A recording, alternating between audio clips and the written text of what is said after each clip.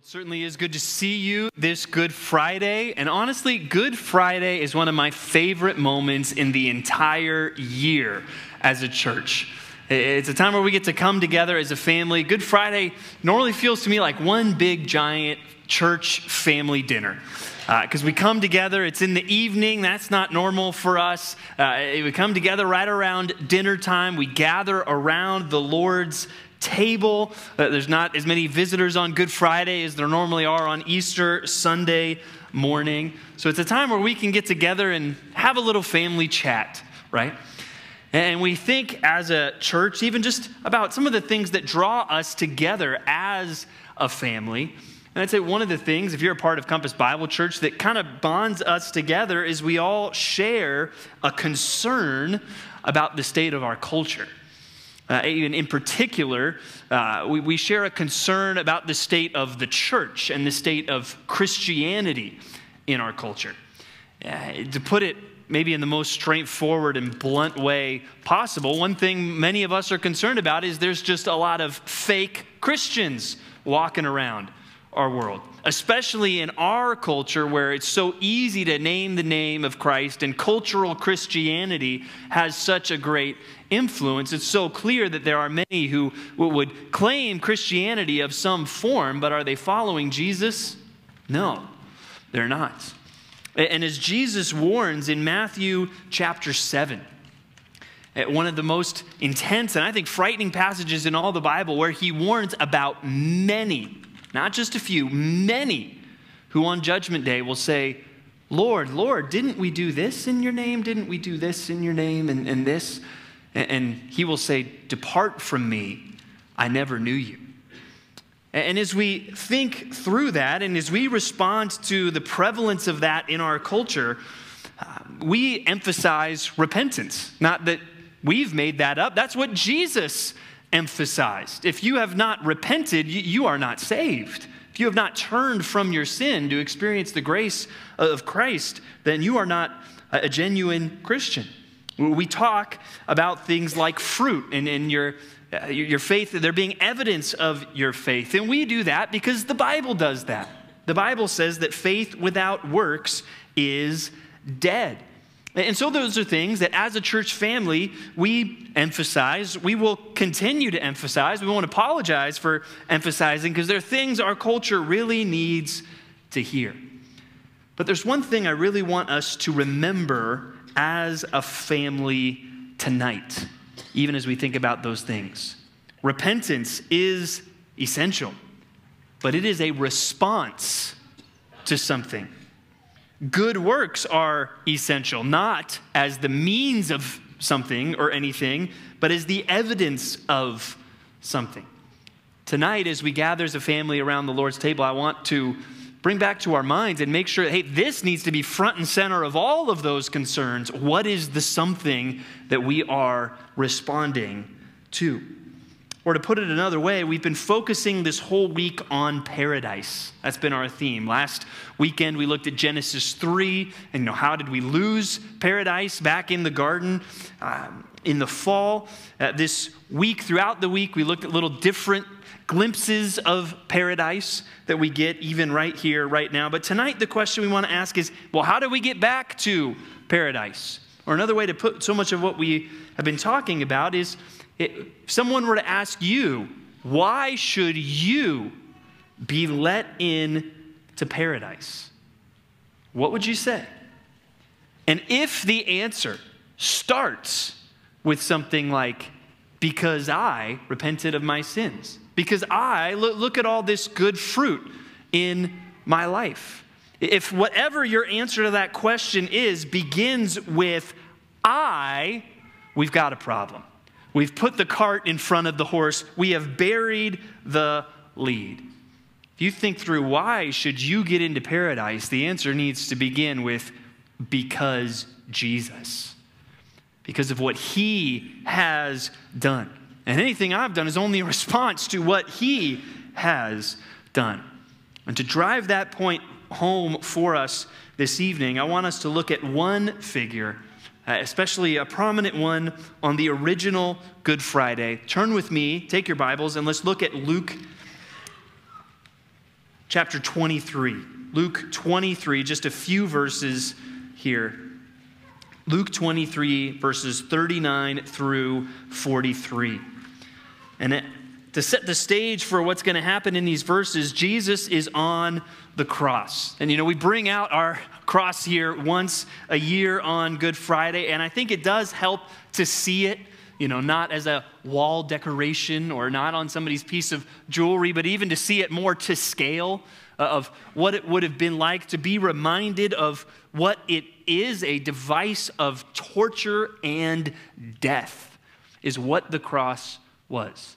Imagine someone actually being nailed to a cross, hanging there, being left to die.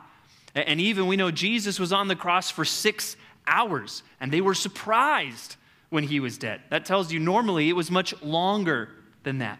You can imagine the physical suffering and agony of the cross. But often, when you see an image of the cross, sometimes you'll see a picture not just of one cross, but of three crosses. Why three crosses? Well, Jesus was crucified, and the scripture tells us on either side of him, there were crucified two robbers, one on either side. That word could also be translated insurrectionists. These were violent criminals being crucified next to Jesus. And, as Jesus is hanging on the cross, suffering the physical agony of that, the spiritual weight of all of that as well, he's also having to deal with the insults that are being hurled at him by all who pass by. And those two robbers on either side, guess what? They join on in with that. And they insult Jesus. They mock him until one of them starts to say something different. And that's what we want to look at in these verses today, starting in verse 39. It says, One of the criminals who were hanged railed at him, saying, Are you not the Christ? Save yourself and us. But the other rebuked him, saying, Do you not fear God, since you are under the same sentence of condemnation? And indeed, we justly, for we are receiving the due reward of our deeds. But this man, has done nothing wrong. And he said, Jesus, remember me when you come into your kingdom.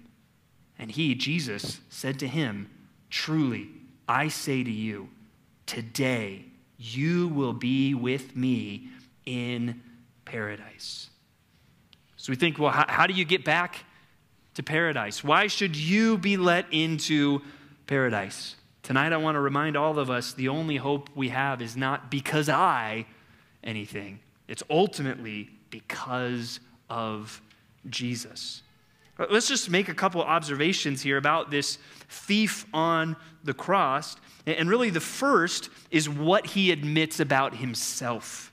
And in verse 40, he gets theological.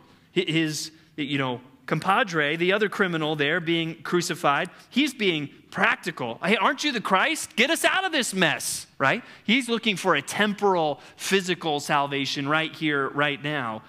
But the other thief on the cross, the one we remember, he gets theological and he rebukes him, saying, Do you not fear God? He starts to realize, hey, don't you realize there is a God who punishes sin? And don't you realize that we are here on the cross because we deserve it? We are getting what we deserve up here. And then he admits it, and this guy, he's not. This guy you're making fun of, he, he doesn't deserve to be up here. Shouldn't you fear God? Isn't that a cruel thing to do? You're getting what you deserve, and you're making fun of somebody who's getting what they don't deserve. And in that moment, he admits his guilt, he admits his hopelessness, admitting, I'm on a cross, I'm dying this horrible death, but I am getting what I deserve. That's a recognition that all of us need to make. If you're going to say anything about your hopes to get to paradise that begins with I, uh, the only way you can end that is I, deserve judgment. I don't deserve paradise. I deserve the opposite of paradise. Can you look at this right here tonight and say, that is what I deserve? Can you admit that? And that gets all of us thinking, well, man, how, how bad is my sin? And some of you might be thinking, yeah, yeah my sin's really, really bad. And maybe that's because of the rough life that you have lived, or you know what it like, it's like to be a criminal in, in trouble with the law. And you know, yeah, I deserve some big kind of punishment. Maybe there's some of you that are thinking, you know, yeah, I mean, I'm not perfect. Who's perfect? I'm not perfect, but I don't know about that. Is my sin really that bad? Well, it's a good reminder. Guess what? You will not ultimately be the judge of how bad your sin is. God is the judge of how bad your sin is. And what is God's opinion about that subject? How serious does He think your sin and rebellion are? Again, He's already given us the answer. The cross says it all. That's exactly how serious God thinks our transgressions are. And that is why Jesus had to endure the cross for our sake. Listen to these familiar words from the book of Isaiah, chapter 53, verses 4 through 6. Surely he, clearly referring forward to the Messiah, has borne our griefs and carried our sorrows. Yet we esteemed him stricken, smitten by God, and afflicted. All very apt words to, describe someone who had been brutally beaten and crucified. Why did that happen? Well, he was pierced for our transgressions, he was crushed for our iniquities. Upon him was the chastisement that brought us peace, and with his wounds we are healed. All we like sheep have gone astray. We have turned every one to his own way, and the Lord has laid on him the iniquity of us all. We have to admit the reason Jesus was on the cross was because of my sin. I am just as guilty in putting Jesus upon that cross as anybody else. I am equally guilty. And even we think back to what we talked about last weekend, Genesis 3. How do we get into this mess? We looked at the lies of the devil and how he lured Eve into sin with these false promises. And really, how the tragedy of what happened there is they had everything that they needed in the garden, but they gave all of that up, seeking just something a little bit more. And doesn't that sound like things that you and I and every single one of us have all been guilty of in our own life? We are like sheep, we have strayed. In God, we would have everything we could ever possibly need, but every single one of us has gone astray. We have all turned to our own way. We're all guilty for why we are in the mess that we are in.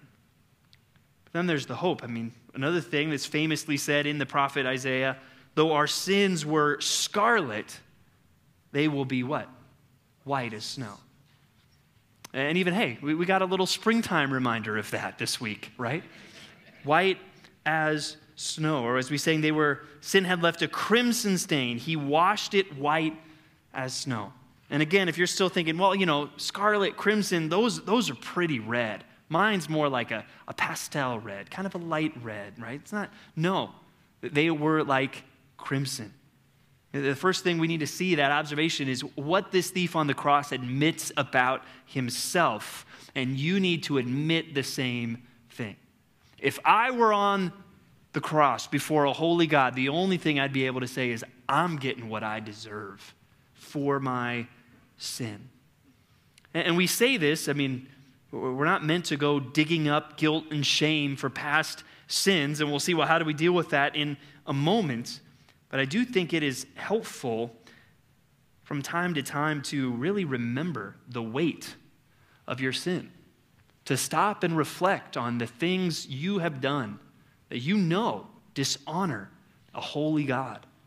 And for you to admit just the weight of those sins, how truly evil they are. so that you can understand more of what Christ has done for us. Tonight, let the cross be a reminder not only of what Jesus has done, but also of what you and I deserve. Because he took it in our place. Why should you get into paradise? None of us can begin the answer to that question with because I. Because if you're going to start to say because I, the only ways you complete it can complete that sentence are I don't deserve paradise. I deserve the cross. So then we move from noticing what this man admits about himself to what he admits about Jesus. Where, where is the hope to be found? Because what the thief realizes on the cross is going to be the same hope for me and you as well. After he rebukes the other thief, he turns to Jesus and simply says, Jesus, remember me when you come into your kingdom. And Jesus immediately responds with a promise, basically a request granted. Truly I say to you, today you will be with me in paradise. And that's one of the reasons why this passage is so beloved, you know, all throughout the history of the church. It's so simple. It's so yet so beautiful and, and precious at the same time. That's why, you know, people will talk about this. Or recently came across again one viral sermon clip. Now, when a sermon clip goes viral on the internet, that usually means it's really good or it's really bad, right? Uh, thankfully, this was, this was one of the good, good ones of those, where, where the preacher kind of creates this imaginary scene of the thief at the cross, kind of then at the gates of heaven, which there's nothing in the Bible that makes us think that's exactly how it works. But, you know, it's this imaginary scene. Why should you be let in? And the angels grill him on, well, tell us more about justification by faith. I've never heard of that before. Uh, tell us more of what the doctrine of Scripture is all about. And he says, hey, all I know is the man on the middle cross said, I could come. Right? And, and that's the beauty and the simplicity of this story. But even in what he admits about Jesus, I, I think his faith is simple. He can't go on and, and elaborate on all these doctrines of the faith, but there are some things that he knows in here. I mean, look again at what he says to Jesus Jesus, remember me when you come into your kingdom. That tells you something that he knew about Jesus. He knew that Jesus was the king.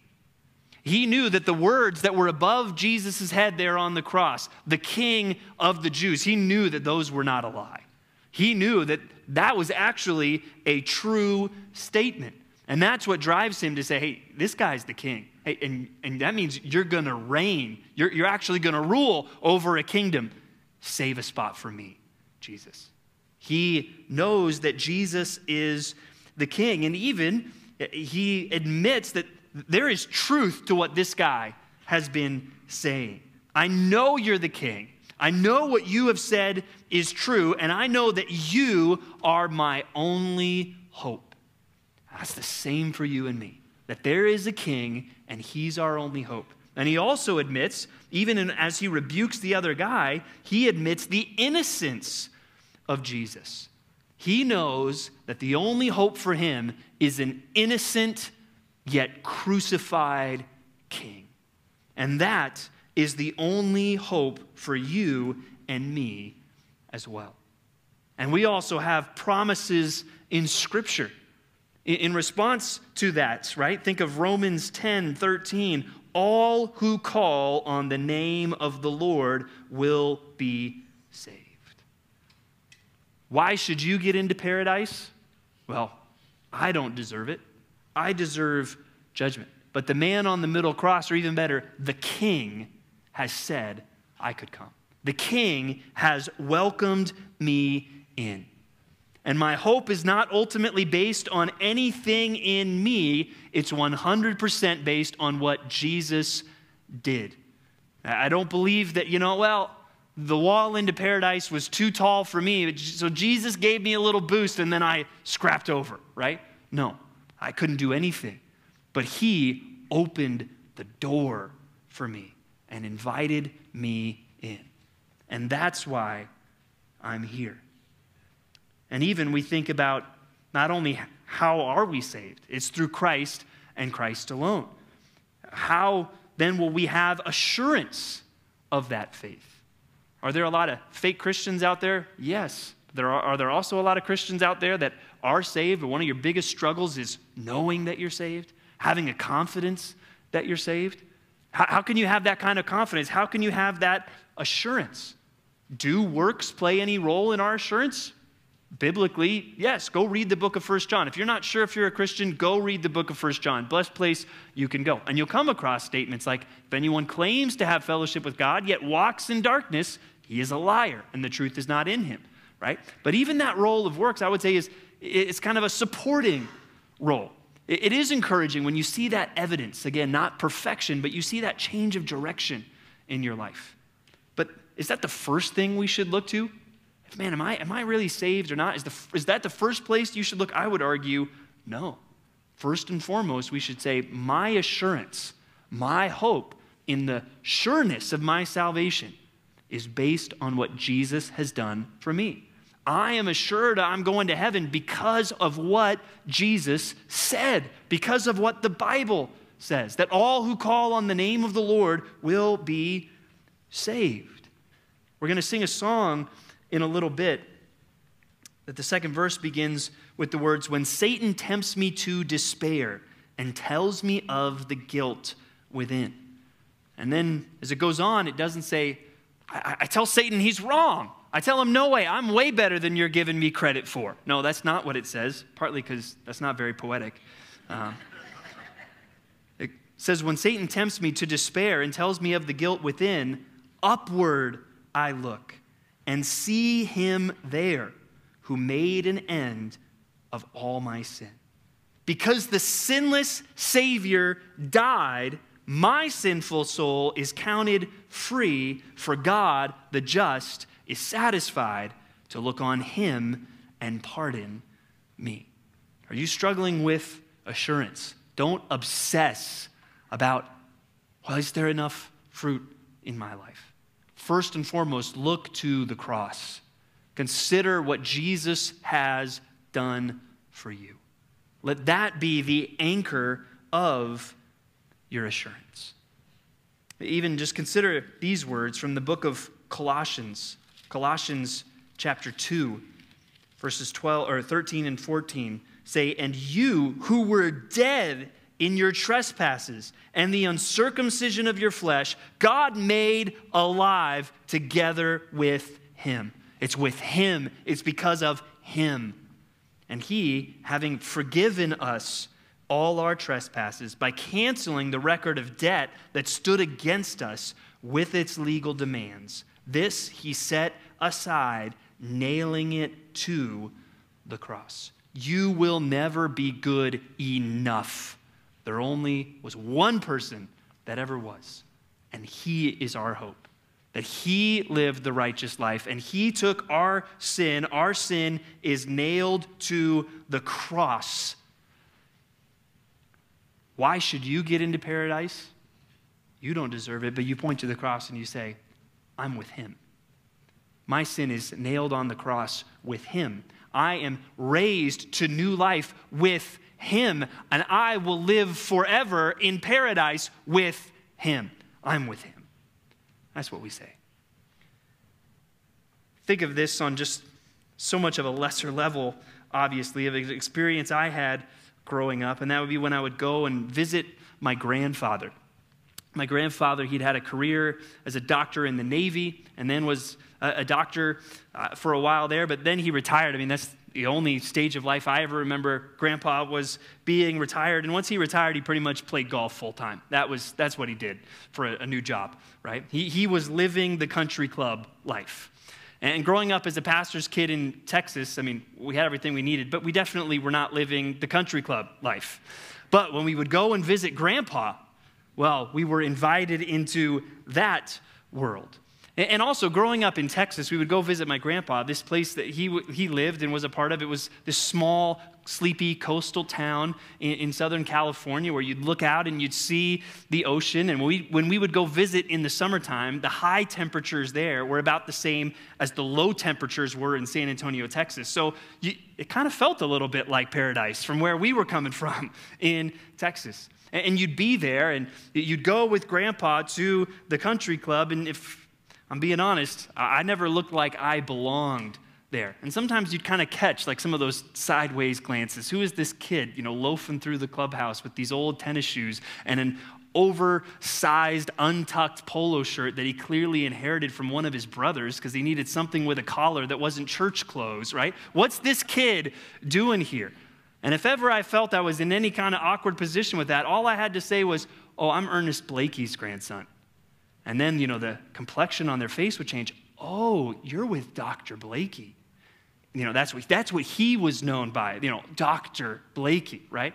And even there was one time I was looking at this one trophy in the country club. Oh, did my grandpa ever win this? I was looking for his name. And then I look at the center of the trophy and he's like, the Ernest Blakey Cup, right? That's, that's who I was dealing with here, right? Oh, you're with Dr. Blakey. Is there anything that you need? Is there anything that we can do for you? Because walking around that place, I didn't belong. I didn't deserve to be there. I wasn't paying the dues, right? I couldn't afford the entrance. I wasn't even paying the bill, right? Whenever I was there, never once did I have to pull out my wallet. All I had to do was say, I'm with him, right? I'm with my grandpa, right? When it comes to paradise, why should you get in to a place that we'll, we'll talk about on Sunday will be so much better than any place you've ever experienced on earth. We have to admit, I don't deserve to get in. I don't belong in there, but I'm with Him. I have died with Him. My sin has been nailed to the cross with Him. I have been raised with Him. And now I will be with Him in paradise. That is our answer to that question. Not because I, fill in the blank with anything, but because of Him and because we are with Him through faith.